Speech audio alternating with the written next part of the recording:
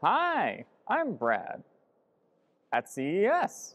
I just got out of a private demo with Sharp, one of the world leading suppliers for not just TVs and other electronics, but mainly VR displays.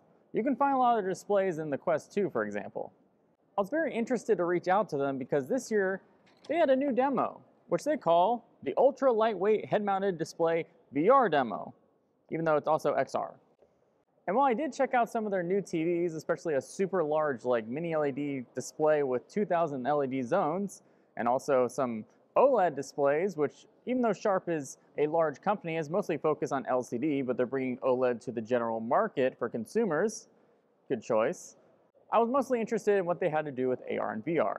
The one thing to note is what you're about to see and what I'm about to explain is not a fully finished product. Sharp is a component distributor and supplier, they're mostly looking for tier one companies such as Apple, Meta, Valve, etc., to look at their stuff and say, yes, we will dedicate to mass producing all the components you're showing to us. And this demo is mostly a headset that they just kind of put together with a lot of sharp components to say, this is the best we got right now, at least at a semi-public level.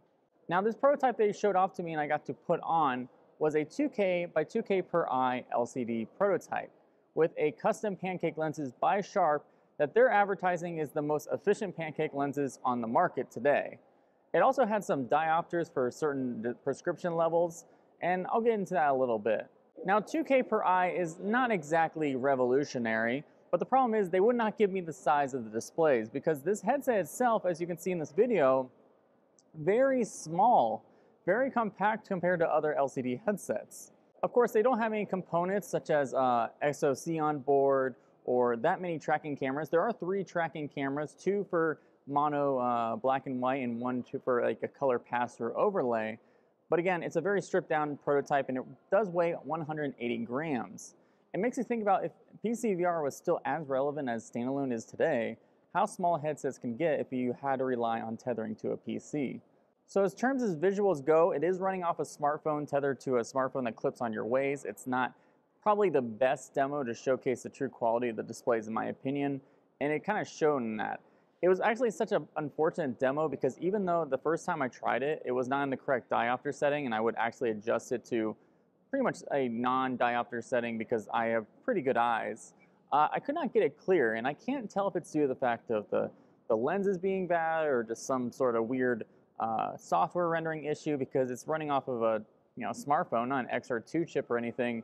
There's a lot of things going on there. Now, the one thing they were trying to show off as a concept that they believe that their two camera with one RGB camera could do with a, enough software prowess is they had a robot that they would hold uh, in front of you. You would actually reach out your hand and they would do a very rudimentary uh, hand tracking to press a button and then you would uh, see the 3D scanned robot in your VR live view. But again, as terms as the optics and the views and the display go, the demo was not very good. It was just impressive at how small it can get, and they did say a lot of the components is pretty much very ready for mass production. So Brad, why did you make this video just to showcase this uh, pretty poor demo of the optics and displays? Well, I would say the biggest thing that mostly impressed me was not really the actual displays itself, ironically. So Sharp was also showing off some of their camera modules, which were more impressive to me than the actual demo itself. The most notable I want to bring up is the fact that they have an autofocusing camera, which is not very new in the smartphone market, but they're doing something pretty special.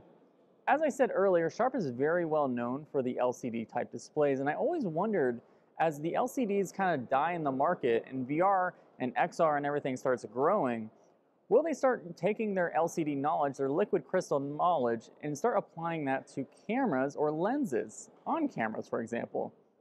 And that's what Sharp did. They were showing off a solid state autofocus that required no module of moving to actually change the focus of the actual camera. And it worked very fast in sort of their demo videos and reels and everything. And the actual uh, lenses itself for the tiny camera module was very small. Now, I've talked about uh, solid state liquid crystal lenses for a while. It's the same technology that if you were to scale it up to bigger lenses, it's like the solid state varifocal lenses. So it was really exciting. I asked the people uh, at Sharp when they would be able to bring this to mass production if they found a partner, and they said they would be able to bring this camera module within mass production in a couple of months. So very impressive. Sharp is not a small company, they're very big. They can design stuff with R&D and bring it to mass production very quick as long as they find the correct uh, tier one partner.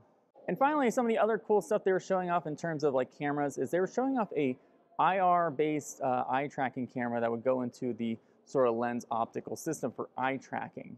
And this camera was like just crazy tiny, smaller than a grain of rice if you saw it in person. Uh, and it did about a 400 by 400 resolution, which is about the standard uh, actual eye tracking resolution of the Quest Pro cameras. So again, um, it was interesting to talk to them and see a little bit what they're going on, even though I couldn't get the display sizes. I'm guessing it's around two inches uh, diagonal or lower for the LCD displays in this headset. And again, Sharp's gonna keep producing LCDs for VR companies until we switch to more other new technologies. But of course, those new technologies are still expensive. They'll reach the higher end and come to the low end. So yeah, it was interesting. Cameras. Okay, bye.